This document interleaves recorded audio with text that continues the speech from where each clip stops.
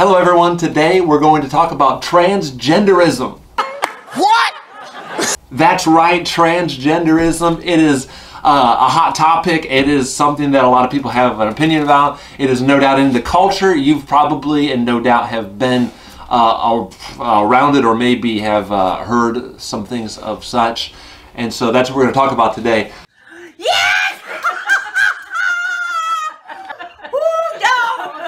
Uh, Jazz Jennings was a boy who decided he wanted to become a girl, and so he became a girl, uh, and he is a transgender. And uh, he has a YouTube channel, he has a television show called I Am Jazz. He's the co founder of the Trans Kids Purple Rainbow Foundation. Uh, another one, an actor of at um, in the show Grey's Anatomy, is uh, Alex Davis. Uh, another actor named Elliot Page. If you're into actors, those are transgender people and uh, who claim uh, this uh, concept of transgenderism. There are universal symbols for the male and for the female. And uh, obviously we know those quite well. Uh, I've seen them in the restrooms and bathroom doors and you'll see those. But now uh, for the transgender person, there is a new one here. And a new one. what is a transgender person? Well, a transgender person is someone who identifies themselves as a member of the opposite sex. So that's what a transgender person is.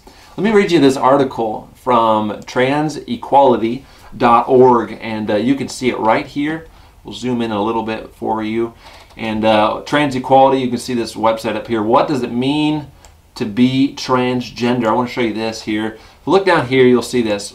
Uh, I want to show you this little thing right here. It says most people who were labeled male at birth turn out actually to identify as men. And most people who were labeled female at birth grow up to be women. But some people, I'm going to condense a few words, feel that their real gender is different than what was initially expected when they were born. Most of these people describe themselves as transgender. And so I have studied this uh, subject of transgenderism here, and uh, here's some words that I come up with. I come up with these words that uh, occurred a lot, and I found and read and heard and seen a lot in my study of transgenderism. And here's the first word, uh, is the word change. You'll see this word a, a lot. Uh, the word trapped. A lot of these transgender people will describe their feelings, their, their situations, and they use the word trapped. Here's one, feelings. Use the word feelings. And screenshot from a Facebook um, uh, page about the National Center for Trans Transgender Equality, and it says right here, you can look at it on your own. An introduction to transgender people. Up here says neither male or female categories feel right for non-binary people. And so that's just one example of the many places that I found that word feel or feelings and, and that's what they were talking about. And here's another word, perception. And so you can see these words over here, they had the perception. So nonetheless, those are some words that I come across and, um, and those are some reoccurring words as you, you'll find as you study this topic of transgenderism. The purpose of this video is to just show you what the King James Bible has to say about transgenderism.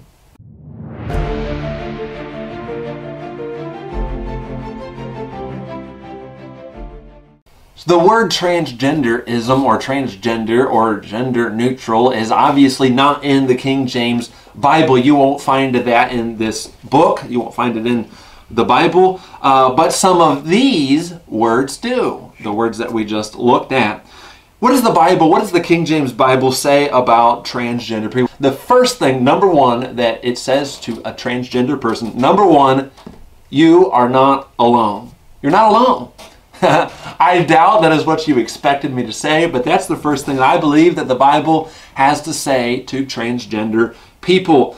Many places in Scripture tell about people, now listen to this, who were possessed by devils. There are many instances in the Bible about demon possessed people. And each of these situations, each of these uh, uh, um, people that were possessed by devil have similar circumstances, have similar things to say. The Bible has similar things to say about these people. One of these people was called the maniac of Gadara.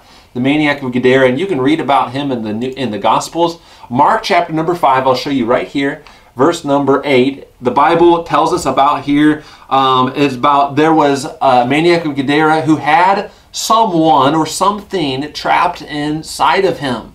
When you study the scripture, you can see that. Mark chapter number 5, verse 8 says this Jesus was speaking, and he says, And he said unto him, Come out of the man, thou unclean spirit. Come out of the man, thou unclean spirit.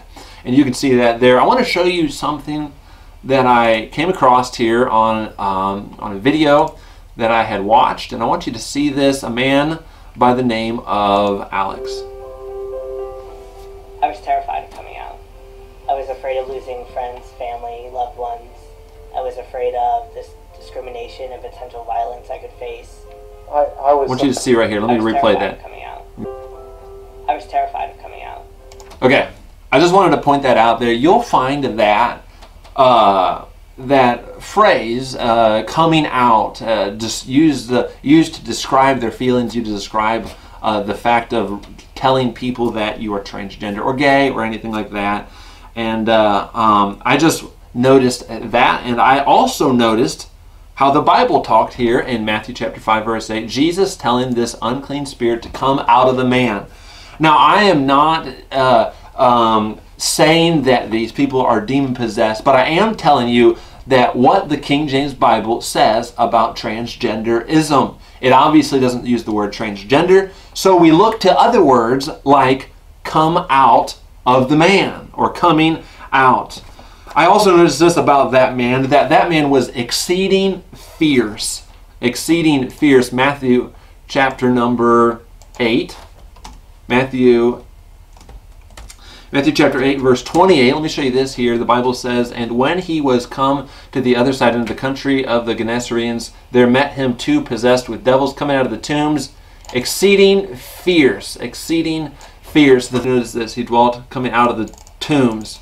You'll see this phrase coming out of the tombs exceeding fierce this man was exceeding fierce let me go back here to mark chapter number 5 verse number 5 i want to show you this. I think you will um, understand this. Mark chapter 5 verse number 5 it says and always night and day he was in the mountains and in the tombs crying and cutting himself with stones crying and cutting himself with them. I noticed that this maniac of Gadara, he had uh, inflicted self harm upon himself. And what is interesting, what the Bible is telling here, is that this demon possessed man was self mutilating. Well, according to uh, some studies, and according to some studies, and actually I have one here to show you, and actually it is incredibly sad. Let me see if I can find it here. Uh, there are many surveys here done, one of which is right here. I found it online. It's called, you can read it with me here. The Trevor Project uncovered some alarming information about gay, lesbian, bisexual, transgender, and other gender nonconforming young Americans. Look at this right here. 48% of this group said that in the last 12 months they engaged in self harm. That number rose to 60% for trans and non binary youth. Even more worrisome, 40% of those surveyed reported having seriously considered attempting suicide during that period. Of the youth, people who identified as trans non binary, more than half said they strongly considered ending their lives. That is sad. That is incredibly sad, and I truly and honestly have sympathy for some of these uh, people, and uh, I truly do. Um, I want to show you one more thing here on this same video. The next man, I want you to listen to this man. His name is Paul. He calls himself Paula, and I want you to listen to what he says. I, I was so terrified that I wanted to die.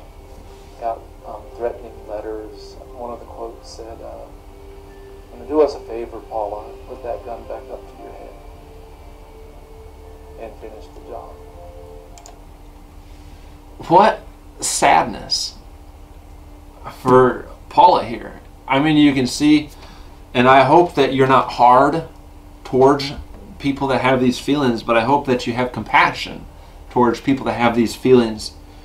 And he he, he mentioned about wanting to end his life and how other people even provoked him to end his life. Let me show you one more thing about the maniac of Gadara in Mark chapter 5, verse 13. The Bible says here, And forthwith Jesus gave them leave, and unclean spirits went out and entered into the swine. And the herd ran violently down a steep into the sea. There were about 2,000, and they choked in the sea. What happened to this demon that was that came out of this maniac of Gadara and went into the, the, the swine? The Bible says this trapped person, this trapped being that was inside, came out and it destroyed the swine in which it entered. Man, it just makes me see some things here about what the King James Bible is saying here to transgender people, and it is quite sad. And I hope that these uh, the people with these feelings are able to see this and understand it. Uh, the people who have these feelings need uh, they need a miracle. They need Jesus. Um, you're not alone. They are not alone. Uh, you, they are not the only people that need a miracle. Uh, they're not the only people that need Jesus to do a great work. For actually, everybody needs Jesus to do a great work in their life. So, point number one what does the Bible say to transgender people? You are not alone. Point number two God's original creation was perfect. And so, the more you modify it, the more imperfect it will become. Man, this is so true. God created you as a boy, and He created uh, you as a girl. He created all uh, people, male and female. Very easy to understand that. Genesis 1 27. Uh, the Bible says, So God created man in his own image. In the image of God created him, male and female, created he them. He made two genders, male and female.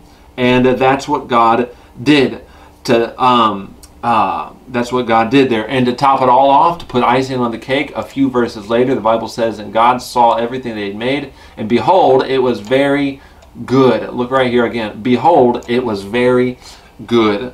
God made a perfect gender. He made two perfect genders. He made a perfect plan and a perfect plan. And the more it is modified and changed and adjusted and added to, the more imperfect things will become.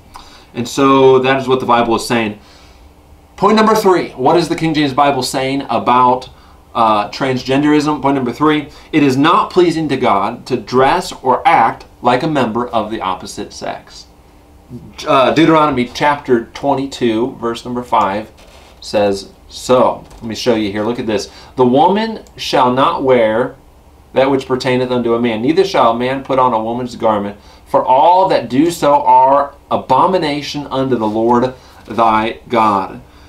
We ought not to put on the garments of a member of the opposite sex. It is an abomination to God. The King James Bible says that it is not God's plan for a man to dress like a woman, nor for a woman to dress like a man. So, what does the King James Bible say to transgender people? Number four says, Your feelings are real, but they are a result of deep sin. I wish that I could explain all of this. I wish that I could see this, but this is extremely clear in Romans chapter 1, verse 26 and 27. Romans 1, 26 through 27, a great passage there. If you were to read this passage uh, uh, with an understanding heart, being led by the Spirit of God to understand the scriptures, you would clearly see that the feelings of a transgender person are real, but they're the result of a deep sin. You'll see words in this passage, I'll put it up on the screen here, such as vile affections. You'll see words right here, changed. Remember, I said that that word transgenderism is not found in the Bible, but other words like the word change is obviously found in there. Uh, change the natural use into that which is against nature. See right here, uh, likewise also the men, uh, leaving use of the woman, burning their lust one toward another. Uh, the last word I want to point out here working that which is unseemly. It's not right. It's not God's plan. There are real feelings, but they are a result of deep sin. And so here's the fifth thing. The fifth thing, what does the Bible say about a transgender? Altering your sexuality is not God's plan for your life. It's not God's plan for your life. Leviticus 18, verse 22 uh, says this. Let me show it to you lastly and Leviticus 18 22. Let me get here to it.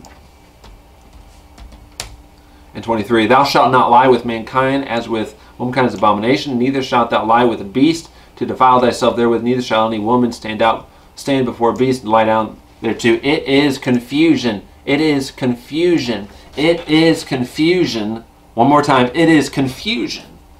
And as you study this topic of transgenderism, you will clearly see confusion all over. And here we see the Bible, King James Bible, Leviticus 18:23, talking about this topic, this this uh, um, LGBTQ uh, kind of uh, topic here, and he says it is confusion when we do so. Anywhere there is confusion, I believe that you can be certain that the devil has been there. The Bible says in 1 Corinthians 14 that God is not the author of confusion, but of peace. And I hope that in some way, shape, or form that this video helps you to understand this topic or this what the Bible says about transgenderism. I hope that you will subscribe. You can click uh, there and do that. We'd love for you to do that. But more importantly, I hope that you will make the decision to believe in the death, burial, and resurrection of Jesus Christ. Thank you for watching today.